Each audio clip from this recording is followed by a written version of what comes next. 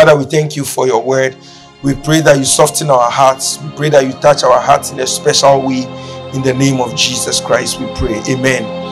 Okay, so today we are going to look at a very important subject. Yesterday, I was watching an interview, a documentary actually, about uh, prisoners on death row. And uh, one of those men who were on death row sentenced to death. You know, he was on death row for many years, and the date for his execution was set and they asked whether he had any final words. Then he said something that all of us in this room have a death sentence on our lives. I only happen to know mine.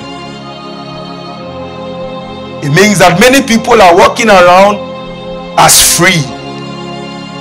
But that man knew something which was a blessing to him. He said, I have an opportunity to put my house in order. I had a, an opportunity to ask for forgiveness. I have an opportunity to make right the wrongs I've done. I have an opportunity to know that tomorrow by this time I won't be alive anymore. And the people I need to ask forgiveness, I'll ask. The people I need to apologize to, I'll apologize. And more importantly, I'll make it right with my God. That touched me in a special way. And it triggered the sermon I'm about to preach today. Bible said in Psalm 90 verse 12 that Teach us to number our days that we may apply our hearts to wisdom. A certain wisdom comes in when you know we are not here forever. When you know that there is a timeline to what we can do for God. There is there is a ticking time machine. And you don't have forever to get it right. Yes, we'll make mistakes. Yes, we'll get it wrong sometimes, but you don't have eternity to get it right. Teach us to number our days that we may apply our hearts to wisdom. Hebrews 9:27 says that for it is appointed unto man to die once, and after that judgment. We all have an appointment with death. And because of that, we need to get it right as quickly as we can. And one of the things about growing up is that you need to minimize the mistakes. When you are a much younger person, you may be at liberty to make many mistakes, but as you grow up, your mistakes have consequences they have far reaching consequences. Sometimes God would forgive you. Many times, not sometimes, God would always forgive you, but the consequences live with you. So that is why we are about to consider the text we are about to consider. And it's from Luke chapter 17, verse 25. I'll read from the New Living Translation, uh, which says that, But first, the Son of Man must suffer terribly and be rejected by this generation the rejection of Jesus was prophesied. So when you see the nations drive out the Bible out of their school, you know, drive out prayer out of you know places of work and things like that, it is a fulfillment of prophecy. I only pray for you that your life will not fulfill evil prophecy. That you in your own life will not reject Jesus. You will not reject his word. You will not reject his church. You will not reject his presence out of your actions or inactions, you would not reject God. It is my prayer for you. But Jesus himself was speaking about himself and said, I would be rejected by this generation. I pray you will not be part of the generation that rejects Jesus. Sometimes we think we love Jesus, we think we love him, but when you look at your actions, when you look at the things you do, there is no proof of your acceptance of Jesus. Accepting Jesus goes beyond praying the sinner's prayer and said, I accept you as my Lord and Savior. It is the life we live that shows whether we have accepted Him or we are rejecting Him. And I pray that your life will be one of that that accepted Him and would continue to accept Him. Hallelujah. Then he continues to say that when the Son of Man returns, it will be like it was in the days of Noah. Hallelujah. what, what, what is it about a time frame in history called the days of Noah. Who was Noah? The book of Genesis, chapter 6, verse 5 says that then the Lord saw that wickedness of man was great in the earth, and that every intent of the thoughts of his heart was evil continually. And the Lord was sorry that he made man. Wow. Just by the wickedness and the sheer actions of man, the things that people were doing, God said, I have regrets, I've created man but, but Bible says something about Noah in the verse 9. It says that Noah was a just man, perfect in his generation. Noah walked with God. It means that it is possible to walk with God in all this mess. In the dispensation where Bible says that the thoughts of the hearts of man was continually evil, Bible said that Noah was a perfect man. It means that no matter what your friends are doing, the world is doing, no matter how much you know wickedness there might be, no matter how much darkness we may have in this world, it is possible to be perfect and just in your generation. And just as Noah define a generation that it will be said that it will be said in scripture that just as it was in the days of Noah, it will be said that in the days of Cyril, in the days of Christopher, in the days of Jane, in the days of Dede, in the days of Ferdinand, in the days of Albert there should be something about your life that defines a generation that you can become a reference point to God that wickedness and darkness would be on the face of the earth but you would be light. Oh you didn't hear that. I'm saying that you would be light enough that you become a reference point as Noah so Jesus, who would live many years after Noah, would come on the scene and says, just as it was in the days of Noah, just as it was in the days of Albert, there should be something about my life. It might be prayer, it might be soul winning, it might be love, it might be kindness, that I become a reference point that God will say that in the days of Albert, the world saw kindness. In the days of Cyril, the world saw intercession. In the days of Jane, the world saw worship Hallelujah. In the days of Noah. In the days of Noah. The people enjoyed banquets. I'm reading from the New Living Translation. And parties and weddings right up to the time Noah entered his boat. And the flood came and destroyed them all. And the world would be as it was in the days of Lot. People went about their daily businesses, eating, drinking, buying, selling, farming, and building until the morning Lot left Sodom. Then fire and burning sulfur rained down from heaven and destroyed them all. Yes, it would be business as usual right up unto the day when the Son of Man is revealed. It would be business as usual. Tomorrow is Monday. We'll go for lectures. Uh, the doctors here would go to work. The business people would go to their businesses. Bible says that it would be business as usual it would be business. I pray that your life would not be business as usual. You would find purpose to life. It will not, oh, we are going to class, oh, we are going to work, oh, we are going for lunch, we are going for dinner. You would understand that we don't have forever to do this thing. There is something that needs to be done. There is an answer that your life needs to provide for a question that exists in this world. And I pray that your life will not be business as usual. From today, it will not be the many things you have to do. It will be the one thing you need to do. Bible says that you see Martha. You are worried about many things, but one thing is needful, and Mary has found it, and it shall not be taken away from her. Have you found that one thing, or you are worrying about the many things that need to be done? How to pass your MBCHB exams, how to pass your ACC exams, how to get married, what to eat, which area of town you can live in, where to work, whether to travel to America, whatever the worries are, they might be relevant. But Bible says that one thing is needful, and Mary has found it, and it shall not be taken away from her.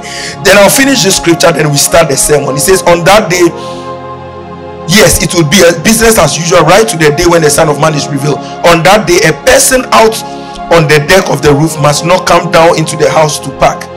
A person out of the field must not return home remember Lot's wife. Remember Lot's wife. What is it about Lot's wife that is worth remembering? Jesus didn't say, Remember the chariots of Elijah. Jesus didn't say, Remember the wisdom of Solomon. Jesus didn't say, Remember the revelations of Moses. Jesus didn't say, Remember the encounters of Jacob. Jesus didn't say, Remember the leadership of Joshua. Jesus didn't say, Remember the strength of Samson. He said, Remember Lot's wife. And whenever you are told to remember something, it means that you are likely going to forget this thing. If you are going for an exam and the lecturer says, Remember this one, it means that this is something you are likely not going to pay attention to. And he is bringing your attention to something which is critical. I pray for us that the important things we will not forget. remember Lot's wife. What is it about Lot's wife which is worth remembering for this generation? Sometimes we set good examples and look at Bright. He is studious. Look at Patron Ferdinand. He sponsors the niece of the church. Hallelujah. That's a good example. But others also become bad examples. Even a bad example can be a reference point. Now, Have you seen the alcoholic? Don't be like him. Have you seen how that man wasted his life? Don't be like him. That is why the Bible was written in the way it was written because you see, God did not hide the weaknesses of the men He used. If if you ever attended a funeral and you hear the tributes of thieves read, you would think they were bishops. Because we human beings, we are like that. When you attend any funeral, is like a celebration galore. Oh, beautiful mother, how we love you. But some of those mothers left their children. Some of those fathers never took care of their families. But when you hear their tributes read, you think they were the most perfect. I don't know whether you are getting, but God is no man. So when God was writing about the life of great men and women he used on the surface of the earth, he was careful to include their weaknesses, their faults, their shortcomings, to make you understand that it is not only the strengths that makes a man. Oh, hallelujah. It is not only the highs that make people, the lows also make them. So today, if you are seated here and you have some lows, don't judge yourself and keep yourself down because you've made mistakes. Because Abraham, that we've come to know as the father of faith, he lied to the face of God. Elijah, as we know, who called fire from heaven, he was running away from Jezebel and was asking God to kill him because of Jezebel. Moses, as we know, he married a foreigner when God told them not to marry any foreigner. David, as we know, he committed murder and married another man's wife and had children with him. The point or the catch here is that it's not the mistakes the men made, but how they dealt with those mistakes. You see, David came back to God. He made a genuine mistake. He killed someone's husband married the woman, slept with the woman. There were consequences of that act, but he came right to the presence of God and God restored him. Hallelujah. Solomon, as we know, came from David's mistake. The wisest man that will ever live on earth came from a man's mistake. It means that even in your mistakes and your downfall, if you can run back to God, He makes something beautiful out of it.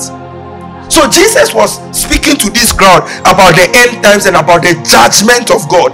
And he says that the example I'll give to you is to go back and study the life of Lot's wife. Remember Lot's wife. I pray none of us would ever forget this woman. So we go back to the book of um, Genesis. Hallelujah. Genesis chapter 19, verse 12 to 17. And then we jump to 26. So this is the life of you know, Lot and the wife and the family. He says that then the men said to Lot, Have you anyone else here when God came to Sodom to destroy the city because of their wickedness? Bible said God sent angels to the family of Lot. God sent a special delegation to the home of Lot. And so these are the angels speaking. Genesis chapter 19, verse 12. He says that then the man said to Lot, Have you anyone else here, son in law, your sons, your daughters, and whomever you have in the city. Take them out of this place, for we will destroy this place, because the outcry against them has grown great before the face of the Lord, and the Lord has sent us to destroy it. So Lot went out and spoke to his son in laws, who had married his daughters, and said, Get up, get out of this place, for the Lord will destroy this city. But his sons in law seemed, but to his son in laws, he seemed to be joking when we are preaching to turn away from God, sometimes it looks like we are joking. It looks like we don't have anything doing with our time. When we say, oh, the church is praying from 11 to 12, it looks like, oh, they, they have extra time to waste. When we are given an instruction, sometimes the instructions of God would come in the form of something that you can easily trivialize. Lot went to his son-in-laws and told them that, listen, we must back out of this city. But Bible said that, oh, to them, he seemed to be joking. When the morning dawned, the angels urged Lot to hurry, saying, Arise, take your wife and your two daughters who are here, lest you be consumed in the punishment of the city. And while he lingered, the men took hold of his hand, his wife's hand, and the hands of his two daughters, and the Lord being merciful to him, they brought him out and set him outside the city. Some of you, God has to come and drag you out of some things because normal advice hasn't stopped you. We've come to tell you that God is about to destroy this city, but because of how bright the sun was shining that day, you say nothing will happen. Oh, look at the world. The world is beautiful. Look at the flowers. Oh, nice things are happening in this world. There will be no judgment. God, God loves the world. Is that not what people say? God loves the world. No, nobody will be judged. How can a loving God judge people? How can a loving God send people to hell? If there was no hell, Jesus wouldn't preach about it. If there was no punishment for sin, it will not be in the Bible. And a loving God never sent anybody to hell. It is people who rejected the love of a loving God because He gave a lifeline. It is the hardness of the heart of men that take them to hell. A loving God, the hell was not made for man, hell was made for the devil and his angels. But because man went after the devil and fell with the devil, that is why it looks like man would go to hell. But really, God didn't make hell for anyone. So if you are listening to me today, when we are talking about heaven and hell, it is not like God wanted any of us to go to hell or God wants to punish anybody by going to hell. it is because we went after the example of the devil. And that's why a thing like hell would be a reality for a people. Bible said they lingered and the angels went to drag her, Lot's wife, Lot himself, his sons-in-law, out of the city. I pray that some of you, God will drag you out of certain things that are holding you back. Because you see, they just went to live there for some few years. That's what Pastor Chris was saying this morning. By the time they realized they were they owned properties in, in, in Sodom, they had things that they were attached to. So it was not easy for them to move out of this city anymore it was not an easy thing for them to run out because now you are looking at the land you owe. You are looking at the properties you have. You are looking at the cattle you have. You are looking at all the families you have established all the friends you have. It is not easy to now run out of sin because you have now become comfortable in your sins. I pray for you that none of us would find comfort. Oh i'm saying that you will not find comfort in sin. You know one of the gifts god would ever give a man is discomfort in sin. You see a, a, a goat or let, let, let's give this example. A sheep may fall in mud. The sheep would cry. The sheep would shake himself. The sheep would look for salvation. But a pig would be dancing would be wallowing in that mud. That's the difference. The difference is the nature. It is not like we don't fall in mud sometimes. No we fall in mud. But because what God has put on the inside, the nature He has put on the inside, would not stay in that mud. When we fall in it, we are not comfortable in it. It is dangerous to be fornicating and be comfortable in it.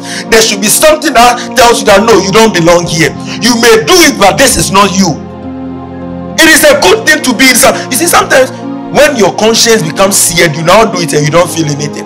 Normally, when you start doing something wrong, you do it and you feel bad about it. I shouldn't have done this. You are remorseful. You feel bad. But if you linger doing it, now you can even do it and you don't even re- realize it's wrong. You start justifying it.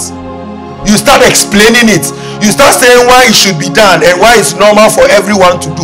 I pray for those people who have become comfortable in any sin. It can be an addiction, it can be a fault, it can be a weakness. But you see, even if that weakness exists, don't be comfortable there because the only hope you can struggle out is the fact that you are not comfortable in Sodom and Gomorrah. You are not comfortable. You might live there because that's where you live, but you are not comfortable in the mess. So Bible said it came to pass when they had brought them outside that he said, Escape for your life. Do not look behind you, nor stay anywhere in the plain. Escape to the mountains, lest you be destroyed. Escape, run for your life. I'm telling you, there are some things, it looks like a little lie, but I tell you, run for your life. There are some things that look like comforting places, they bring pleasure, but run for your life. The devil is coming for the kill. He is not playing, he is not joking. It looks like a little weakness, but if you don't run for your life, it will destroy you. There are things that have destroyed marriages. They started small. When they started, no one ever woke up and said, I want to destroy my marriage. No one woke up one day and says, I want to destroy my businesses. No one woke up one day and said, I want to destroy my children. But people do these things anyway. People destroy their children. People destroy their businesses, destroy their marriages. From the little decisions, they don't stop. From the little things that people do that they don't confront. Some of you should get out of this place today and confront spiritual laziness. Confront it. You have stayed there for too long. You have found excuses there too long and you are now comfortable. Be uncomfortable not coming to church. Don't find an excuse. Some of you, nothing happens to you when you are not where the church is meeting. Let's say the church is praying and I'm not there. Hey, I'll be uncomfortable till I join. What's happening? Not because I'm a pastor. It happened way before I became a pastor. Whenever I'm supposed to be at a place and I'm not there, I'm worried. What's happening there? Is there something happening I'm not aware of? Run for your life. Run for anything that doesn't look like God. It may not look like death, but run for your life. It may look smooth, but run for your life. Because that little thing, if you don't deal with it, will destroy everything you have spent your life to build. I'll jump to the verse 23. It says that the sun had risen upon the earth. So yes, the city was destroyed. Bible said God rained down upon the city fire and brimstone after Lot and his family left the place. And Bible says his wife looked back and became what? A pillar of salt. So what is it about this story? I don't want to go because it's a very long scripture and we don't have time. So that's why I paraphrase the rest. So from 20 to 23 to 26, you know, 26 said about his wife looked back uh, behind him and she became a pillar of salt. So God told them, Don't look back, run for your life, get out of this city. But the wife disobeyed and looked back and became a pillar of salt. So Jesus is saying that remember this woman. What is it about her that we need to remember? Point one. Remember that she perished although she was a woman of great privilege. This was a woman who married the man of her dreams. You don't get it. This was a woman who married a very successful man. Lot was a successful man. In fact, Abraham divided land with Lot. Abraham chose this side, Lot chose the other side. I don't know whether you are getting me. This was someone who was dividing inheritance with Abraham. How many people have such privilege to be married to a man who had land, who had cattle, who was rich and more importantly connected to Abraham. When God called Abraham to move out of his parents' home, the one person he called was Lot. Lot was beyond his nephew. Lot was like a friend to Abraham. Lot was connected to power. I don't know whether you are getting me. If it was political power, Lot was connected right at the top. So this woman married the man of her dreams. She also was privileged that when God was about to destroy the city, she had angels visiting her. How many people had encounters with angels? Ah, an angel was released specially to come and speak to her. She perished although she had access to the word of God. God Himself came to speak to her. Some of us have access to the word of God. We are in the best church. She was in the best church, the church of Abraham, but we don't get it. She had the best pastor, just like Judas. Judas had the best pastor in the best church, connected to Jesus Himself, but perished. How could you perish?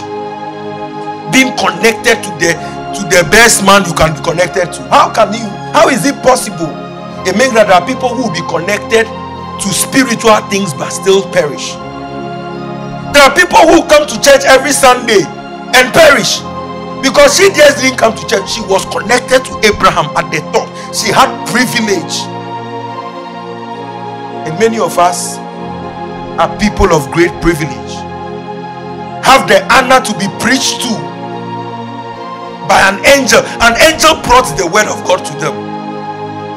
You see, the reason why God has stopped, you know, showing himself anyhow to people is that even when God was in the wilderness with the with the Israelites, they were seeing, you know, there was a cloud above them. There was a there was one behind, there was one on top. When God was in the wilderness, they were fornicating under the cloud.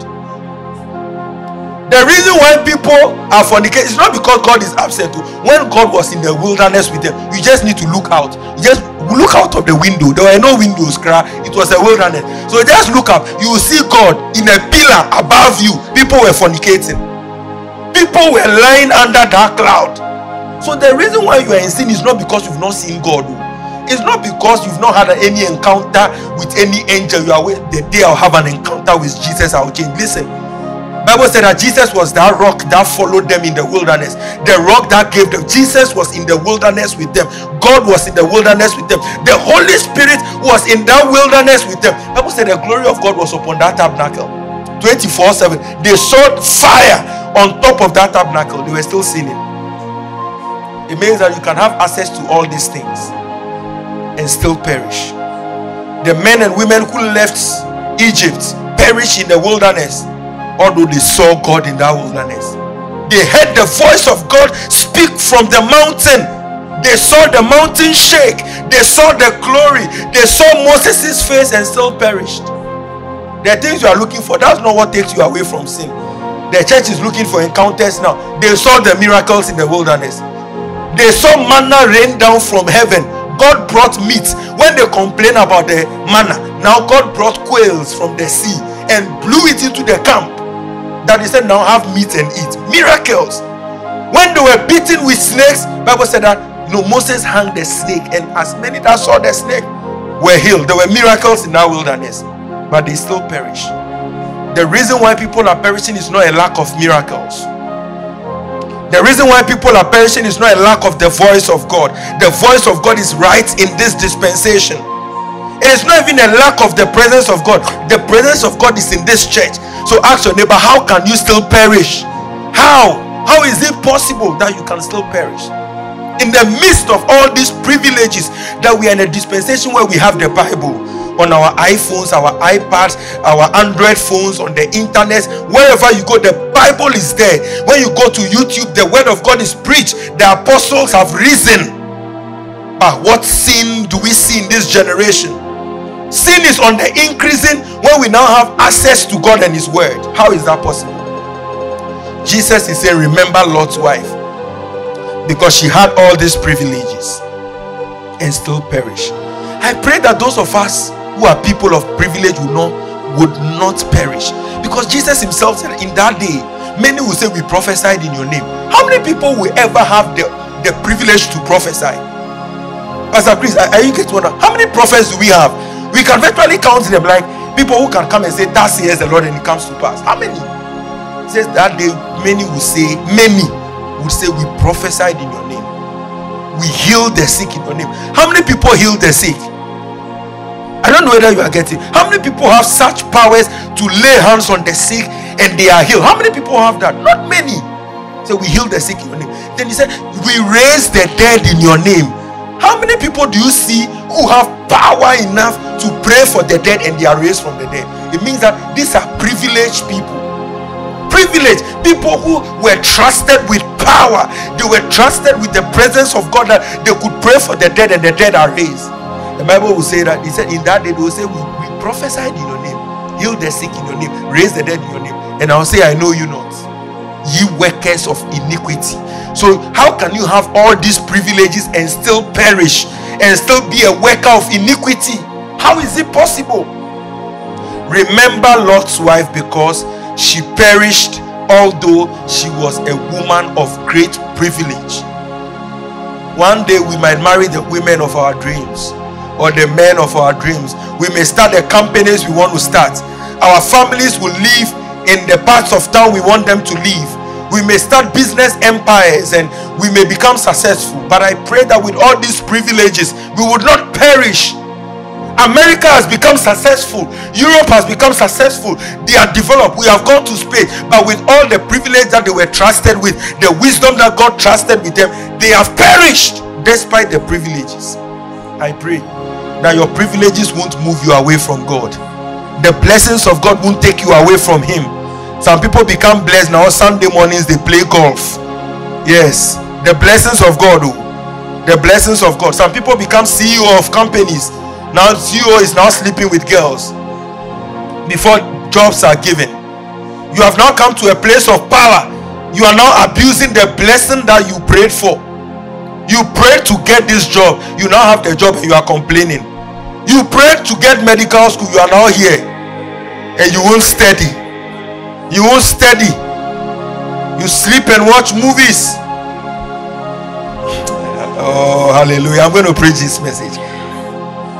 I pray that the privileges and the blessings won't take away uh, the, the love we are supposed to have for God. That you raise the dead, heal the sick, open blinded eyes, and still perish.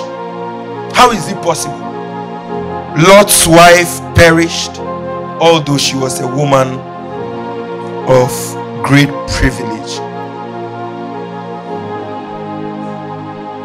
Point two. She perished although she had clear sign of danger. She had a clear sign of danger. How many people in Sodom were warned? But she had access to the warning that God is about to destroy this city. It would be it would be a disaster for someone in church to perish because we know about heaven Sometimes it's okay for the world to perish because they don't know about hell, they don't know about all the worms that eat and all the fire, the bottomless pit, the judge. They don't know about all these things, all these technicalities. But someone who is sitting under the, the, the, the sound of my voice, how can you perish when you have a clear sign that this line you are lying, it is destroying you? This weakness you are toying with is destroying you. How can you perish although you have a clear sign of danger? How can you perish although the Holy Spirit was telling you this guy is not good for you? But you say we love the red flags. We are every men and women. We love the color red. No, no, no, no, no, no, no, no. We love red. When the red flags are there, you find excuses for them.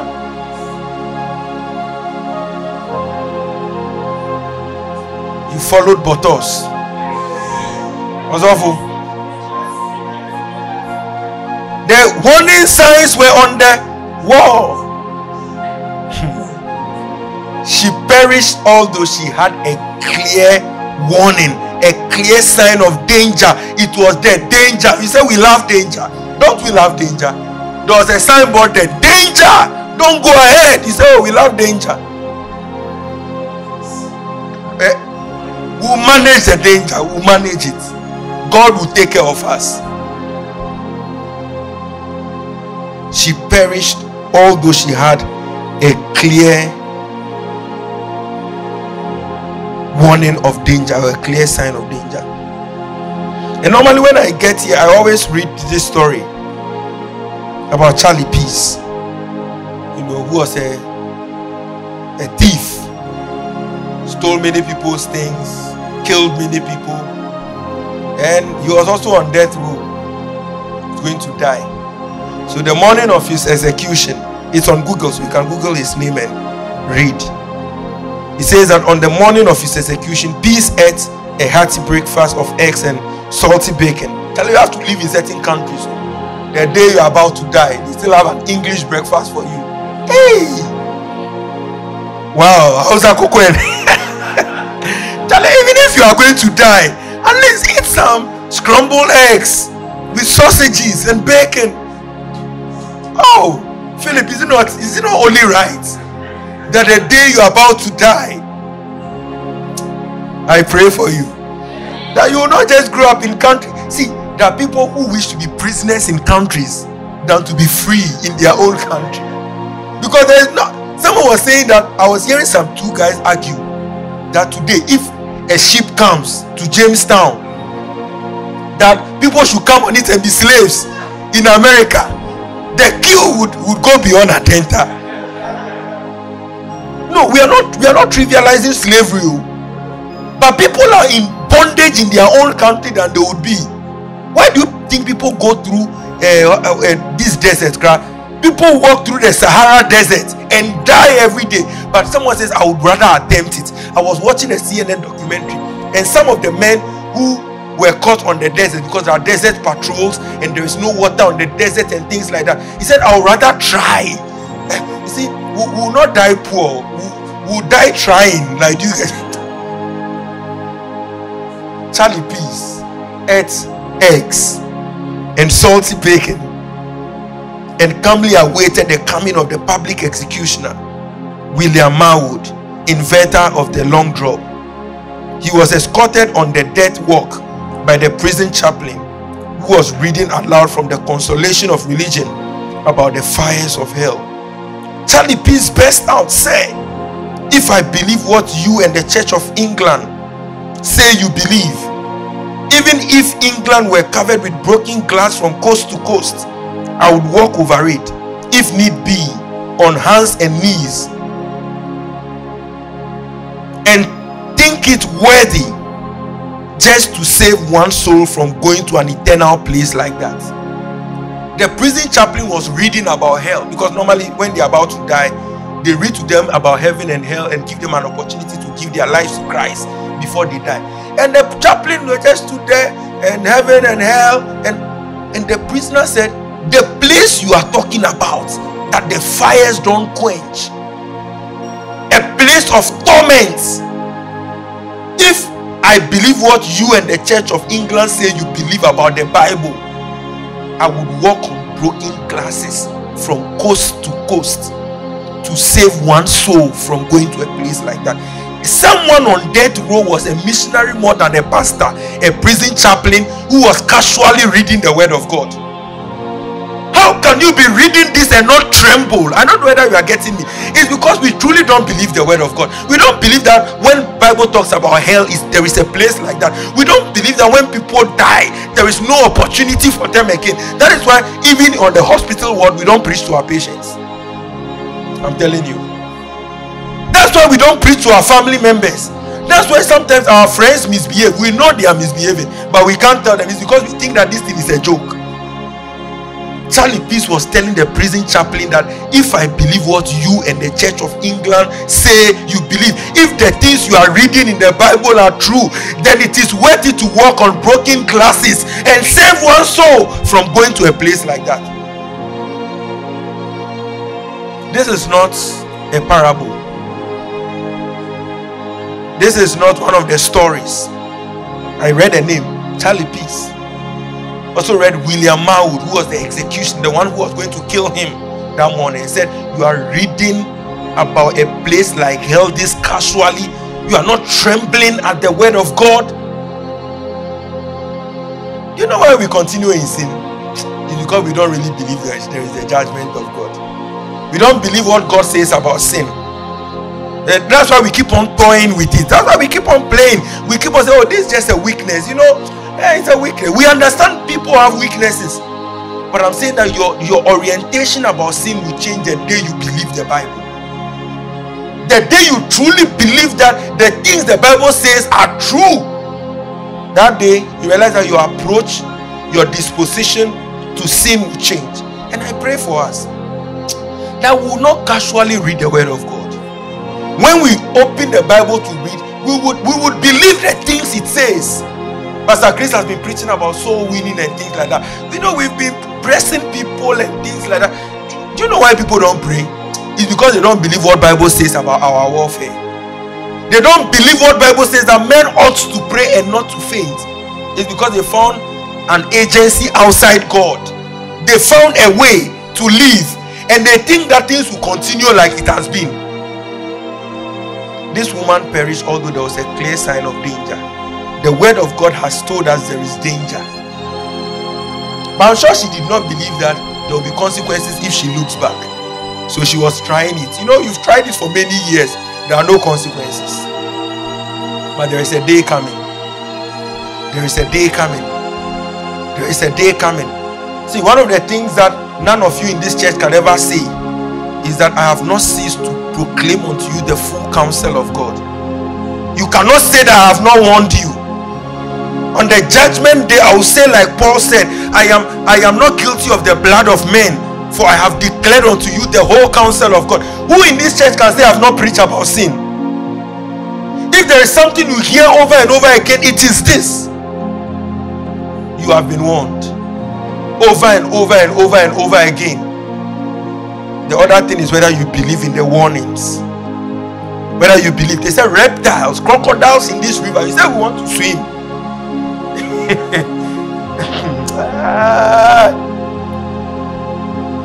the purpose of danger, danger signs is to warn people who are about to go ahead. I pray for us that God will give us discernment. And some of you, before you enter relationships, you will see the boom, red boom, boom, boom.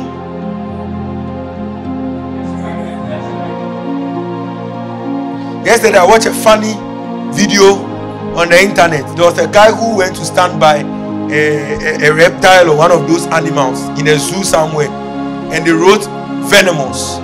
You know, like this, a venomous snake or a venomous animal.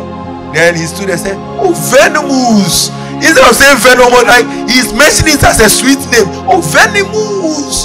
And he was playing with the animal, playing with the animal. God has said, Danger. But that is the terrain we want to play. That is where we want to transact our business. Dangerous waters. You said, No, we are skillful scalers. No, we, we don't play in the little leagues, we play in the Champions League. I pray professionals. The danger of sin. The danger of sin. Number three. She perished although she made some efforts at salvation. You know, this woman didn't die in Sodom and Gomorrah. Oh. She she left Sodom and Gomorrah. She left. She even climbed the mountain. So this was someone who was totally disobedient. This was someone who made some efforts. This was someone who at least you know carried some things, moved with the family and all that but she perished nonetheless. Some of us justify say, No, we are not bad people. Oh. Haven't we come to church? Ask your neighbor, Am I not here? Or ask your neighbor, Am I not here? Haven't I made, I woke up this morning, I ironed my dress, I took my bath, I've, I've, I've tried. Tell my neighbor, I've tried. Tell your neighbor, I've tried. Haven't I tried? Ask your neighbor, haven't I tried? Ah, the praise is not like we will not pray. We've prayed some. It's not like we've not attended any meeting. We've come for some made some efforts at salvation. She moved from the city, she climbed the mountain before she perished. It means that it is possible to perish although you've made some efforts. So we are trying. God knows we are trying. Eh, we are doing our best. Whatever you are telling yourself may be true.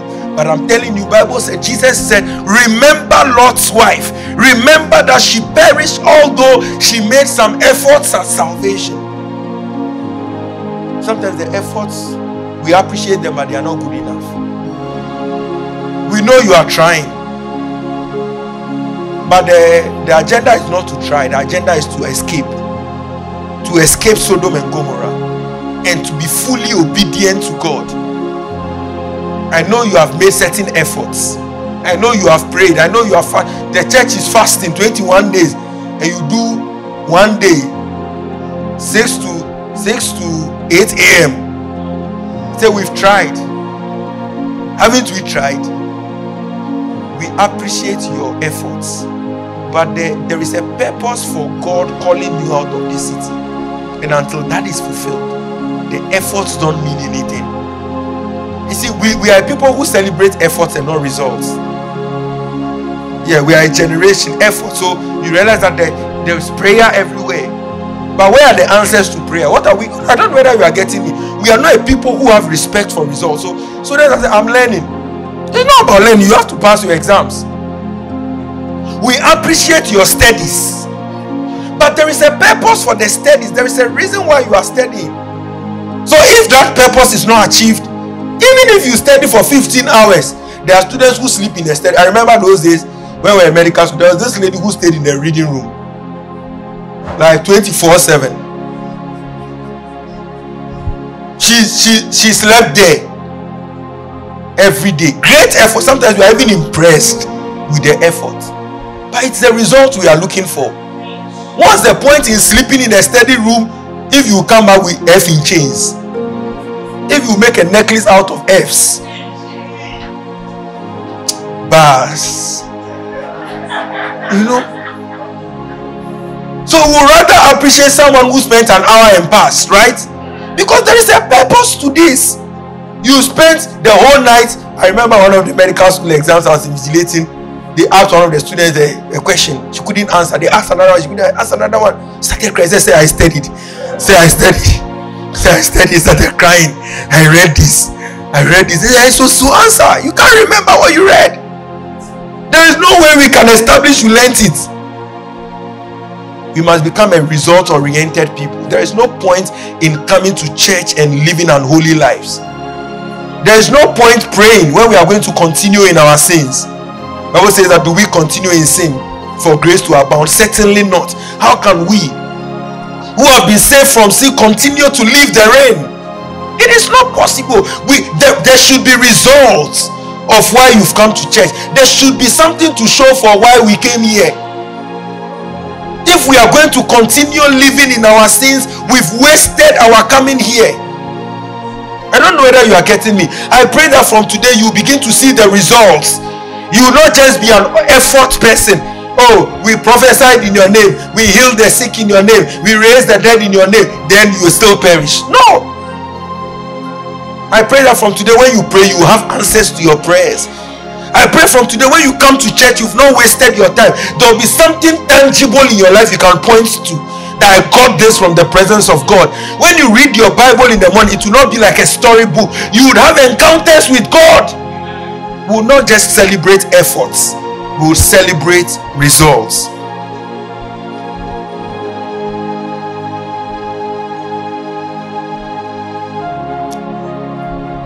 Remember Lot's wife because she was a picture of disobedience and rebellion. Remember that there are consequences to disobedience. See, obedience protects you. When an instruction is given, you have been, you know, when they say, Oh, before you set a line for a patient, wear gloves. You can decide not to wear gloves. Do you get what I'm saying? But when you have needle pricks and blood pours on you from an HIV patient, then you understand that that instruction was not to restrict you was to protect you. Look at the laws of god. Which of them are supposed to bound us? Knowing the things we know now about sin about if we never knew about stis would we still think it's worthy to to like like to obey god I don't know whether you are getting me. Now, science is advanced enough for us to know that oh, there are sexually transmitted infections if we didn't know that they existed, would we just have accepted God's instruction that do not fornicate or commit adultery? Sometimes we are waiting to see the consequences before we obey. We are waiting to see certain consequences before we hear what God is saying. Listen, there are some consequences. Your life is too small to experience it before you learn. I had a lady who told me who had HIV. She had sex once. I remember that lady. She was in Legon Holland XP about 15 years ago. I met her. She was a virgin, visited a friend from SHS. They had sex. She had HIV and was pregnant. She said, also it happened once. There are some things people will toy with. Yes, nothing will happen. You try it and see. There's some things people will do and get away with it. But when you do it, there are consequences. That's why you don't say, oh, this thing will be. There are some things you can do for 20 years. In the 21st year, try it and see. Disobedience has consequences. I pray that none of us will continue in disobedience. The things you know you have the power to do The number five is that she perished although she committed one sin. She just looked back. Also for Chris, is it is it deep? How does looking back generate any problem? Like who am I offending? Have you ever heard argument of LGBT? Like you know, I mean, like I'm doing something in my room. Who have I done it? Like I've not killed anybody? Have I have I killed you? Have I done anything to anybody? How does this disturb society when I'm in my room doing something? Science is still trying to understand the effects of certain things on the body. It means that 50 years ago we did not understand certain effects. There is something that God knows about sin that we don't know. There is something that God knows about lies that we don't know. And the proof that we don't know is because we are still continuing in it, although it's dangerous waters. Let's read the scripture. I think with Hebrews chapter 3, verse 13. It says that but exhort one another daily while it is called today, lest any of you be hardened through the deceitfulness of sin. Sin is deceitful sin throws a bait. It is deceitful. It's like a bait which is thrown. The bait has fish on it but in that fish is a hook. Sin is deceitful. It comes in you know that this one is not deep. Like there are no strings attached. But when it catches you that's when you realize that it is coming for the kill. Lest any of us be hardened through the deceitfulness of sin. James chapter 1, verse 14 says that, But each one is tempted when he is drawn away by his own desires and enticed. Then, when desire is conceived, it gives birth to sin. And when sin is full grown, it brings forth death. So, it only starts as a desire. So, today I want you to look at your desires, the things you desire.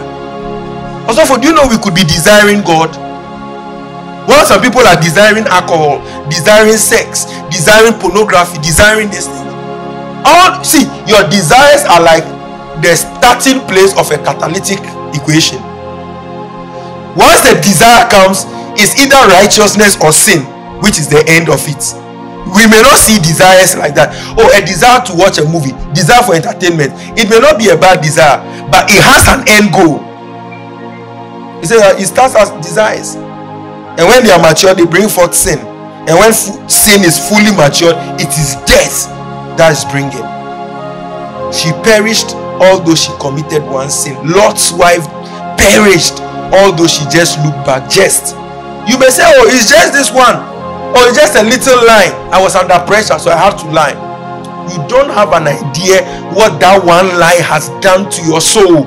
You don't know how it has corrupted you. You don't understand how that one sex changed everything.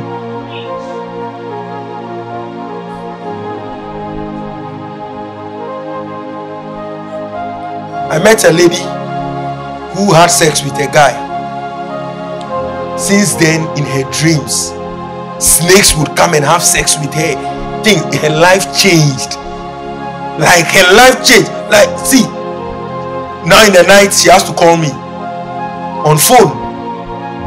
You don't understand that this nicely dressed gentleman with uh, a Giorgio Armani perfume or a Givenchy or, or call some of them. What are the expensive? Philip you can help me. Pastor Chris Jane.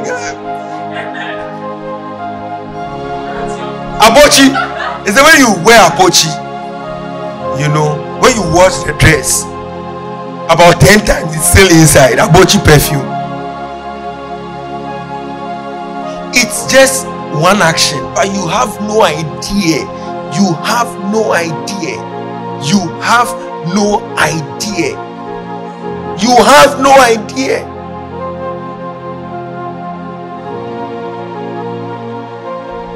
Charlie, people have ended their lives so through little actions that nobody knew about.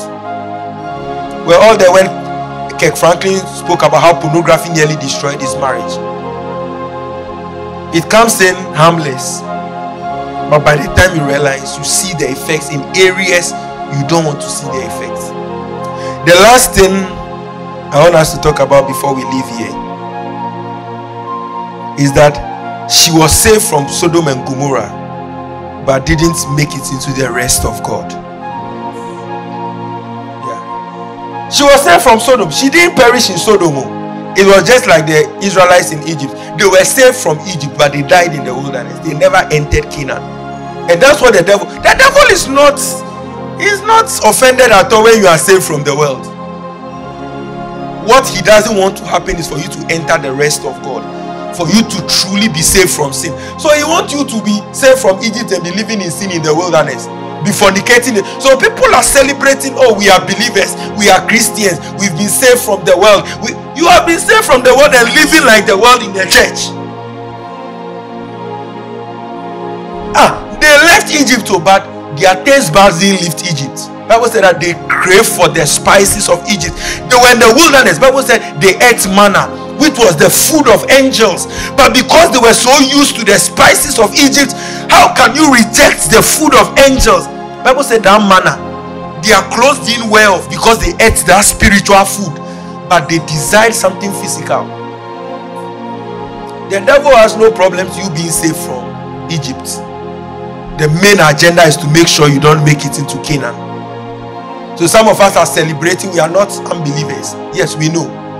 We are not sinners. We are not in Sodom and Gomorrah. Oh, we've been dragged out of it. Because remember, it was by the grace of God they were taken out. They didn't want to go out. But Bible said the angels held their hands and dragged them out of the city. So yes, they've been saved by grace. Being saved. We were saved by grace. We are being saved and we would be saved we are being saved. The Bible says, work out your own salvation with fear and trembling. But I thought you were saved by grace. So, with salvation are you working again with fear and trembling? The salvation of your mind. You are saved. The spirit man is saved by grace. No, no works. But we are being saved until the Lord will come and we will be saved when we are given new bodies. She did not make it into the rest of God. There is a rest of God for your health. There is a rest of God for your prosperity. There is a rest of God for your freedom. The devil doesn't mind you sitting in church once you are still bound in your sins. It, oh, he doesn't mind you coming to church every Sunday if you go back after church and continue in your sins. So you have been saved from the world, but the world has not. You see, they were saved from Egypt, but Egypt was not taken out of them. I pray for us that we would make it into that promised land. Hebrews chapter 4, verse 1 says that therefore, since a promise remains of entering his rest, let us fear. The only part of Bible that it says you should fear. It says, let us fear. There remains a promise of entering the rest of God uh, what's the name? Kekeli, there remains a promise of entry. There is a perfect, there is a place God will want you to be. That's the rest of God. And until we enter that place, don't allow sin, don't allow disobedience, don't allow whatever is trying to trap you, prevent you from living God's best for your life. Be on your feet with me. Be on your feet with me.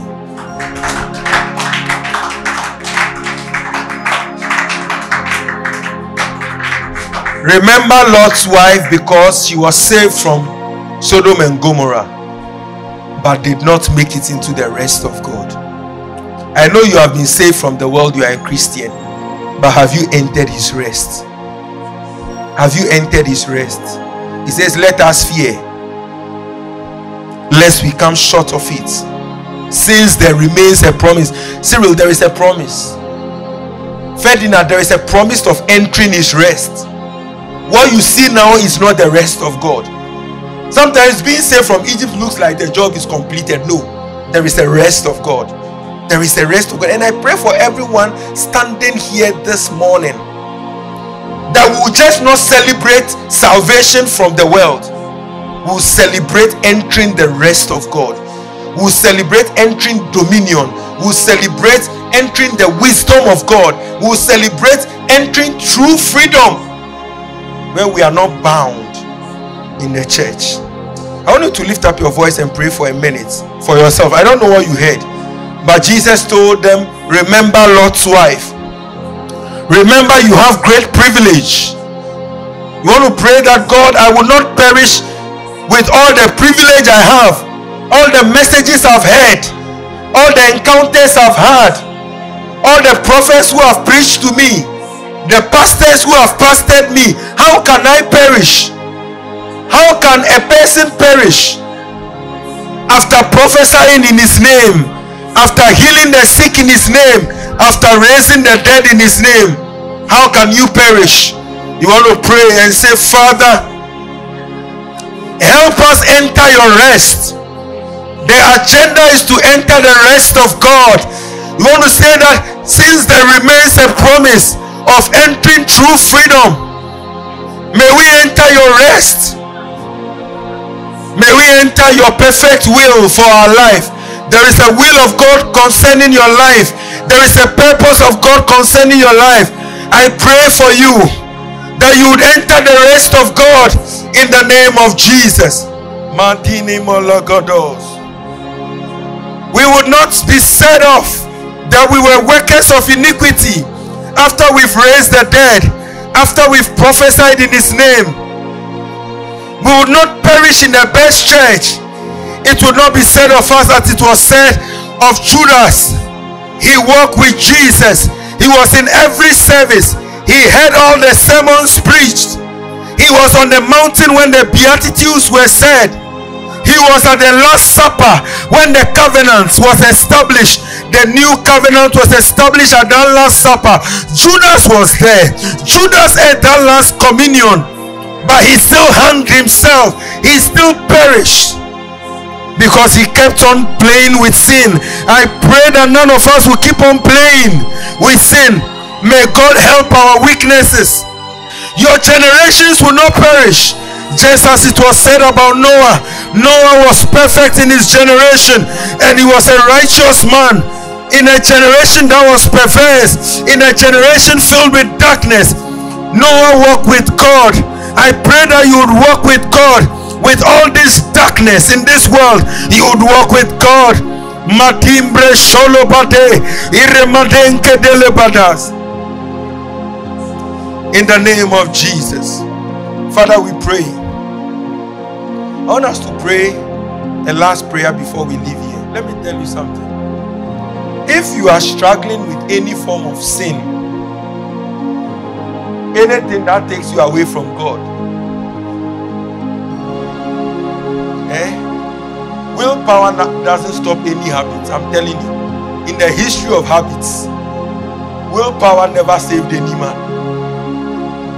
How many people have ever done something you are not proud of? I'll lift up my two hands in, with my feet.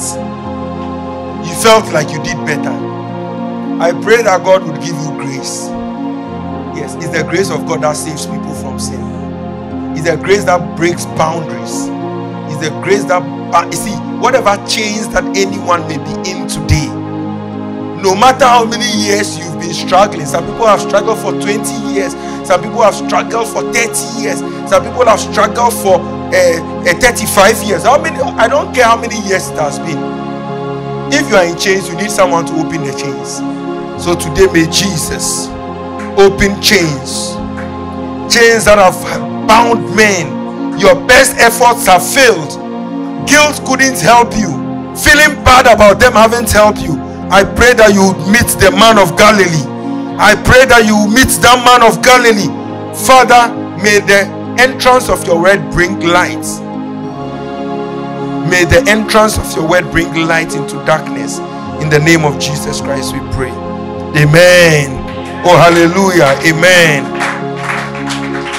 Amen. God bless Thank you. you for listening to the sermons of Reverend Dr. Albert Agbi. Be sure to follow us on Instagram at Edify Church Life. Listen to more of his sermons on our Telegram at Edify Sermons and Edify Church Spotify platforms. Thanks for being a part of our Edify Church family. Be blessed by this word of God.